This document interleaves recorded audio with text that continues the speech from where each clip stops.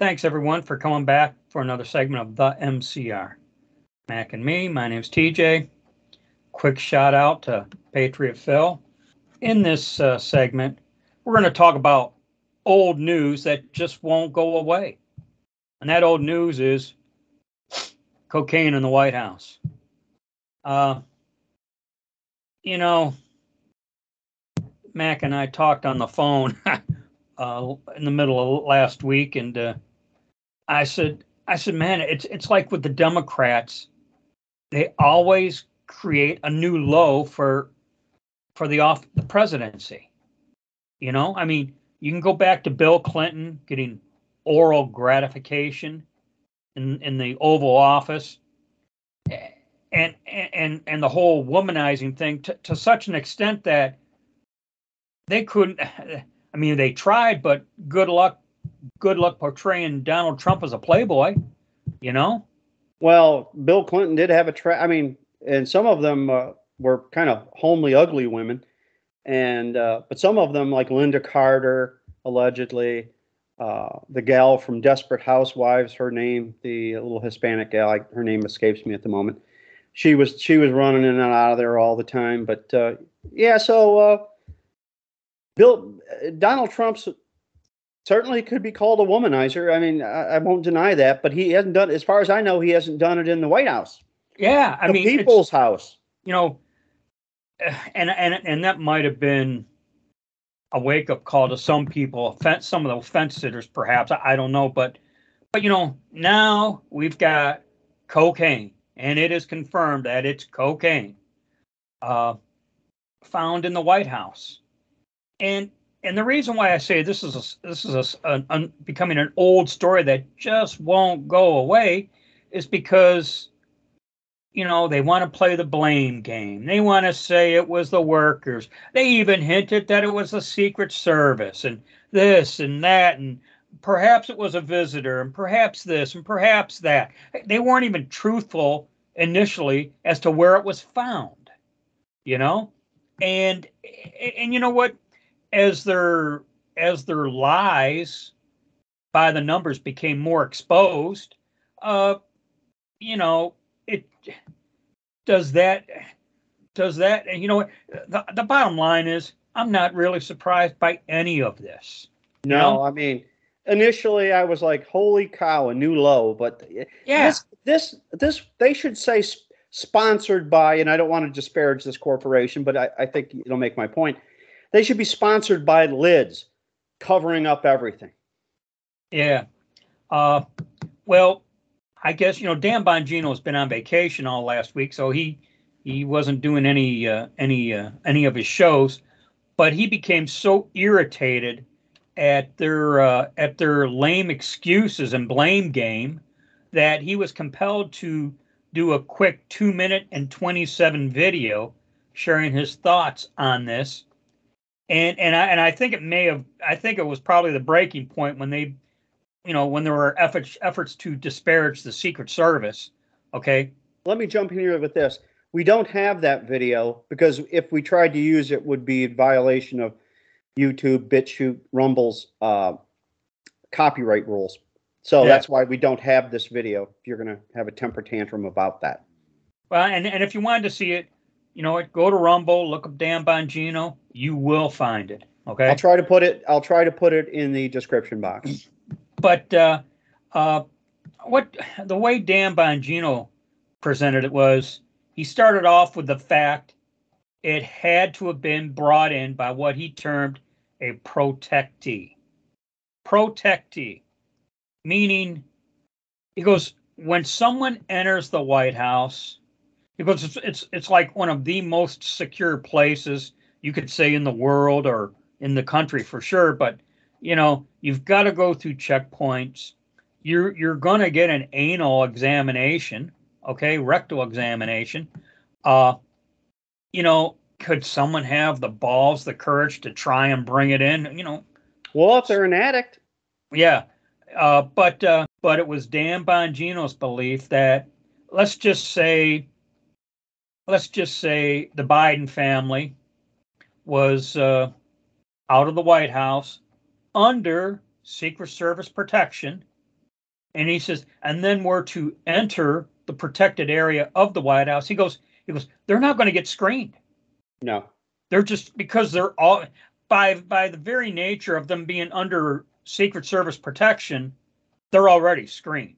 Already vetted, right? Yeah. So so as so when to enter that sensitive area, that restricted area, you know, you're going to bypass the uh, checkpoints. I have been I have been to the White House on a private tour, but it was towards the end of the Reagan administration, and things were not nearly secure then as they are now. I mean, they they checked you for weapons, of course, but uh, and they did a background check on you. They had to have our Social Security, my wife and I, our Social Security numbers, information. I'm sure they ran a check on us through the FBI, found out we weren't bad guys, but. Uh, I'm sure it's much more secure now, and there are cameras everywhere. And let's not talk about the elephant in the room. Let's talk about the jackass in the room, and who are all, who we all suspect. Everybody suspects, even those who pretend not to know. This is going to be right on Hunter Biden, crackhead, drug addict, piece of shit. That's well, alleged. You know, just lie upon lie involving this. First of all, they lied about where it was found and and and I think part of the problem is enough people familiar with with the way security is run there said mm, that can't be. It was in an area that had had less uh, uh, CCTV, you know, uh, as far as recorded video. Well, if there's no recorded video, then it was even deeper within what's what's considered a secure area.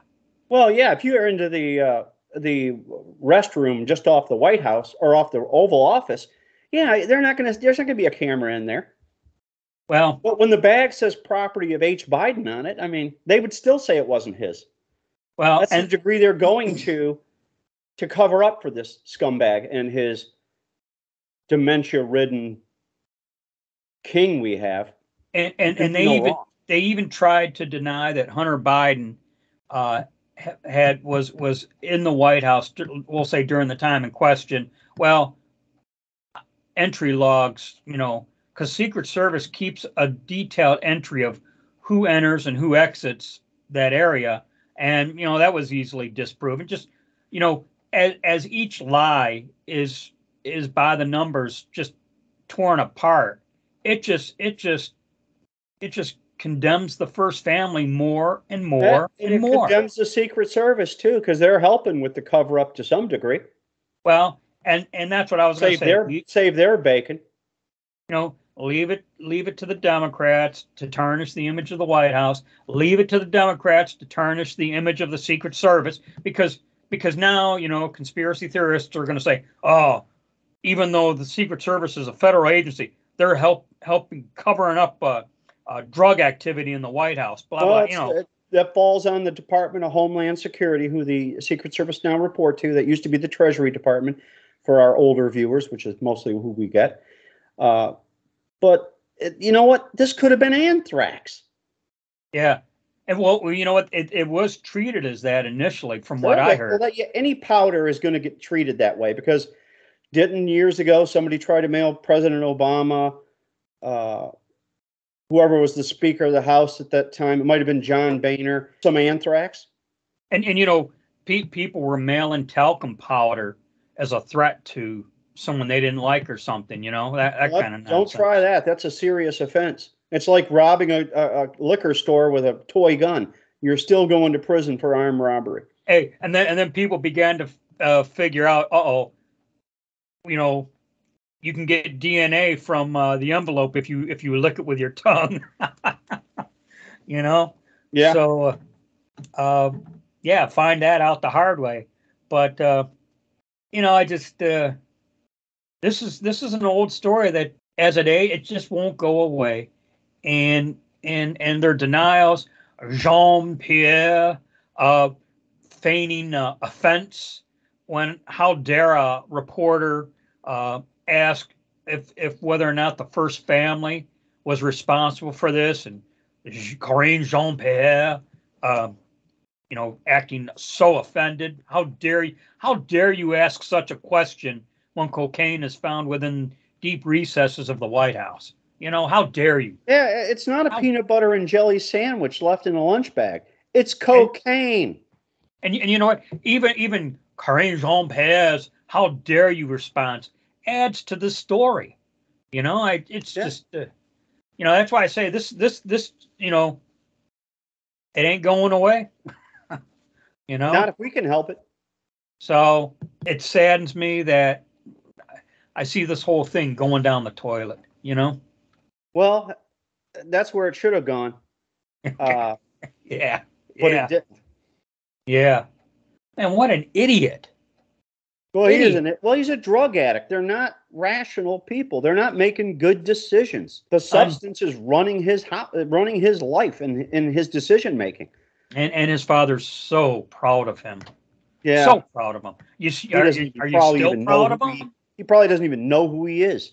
Uh, uh, we can wrap this one up because I'll just I'll keep ranting. Okay, But uh, that's what editing is for. yep, yeah, edit out my rants. All right. So we'll catch you on the next rant.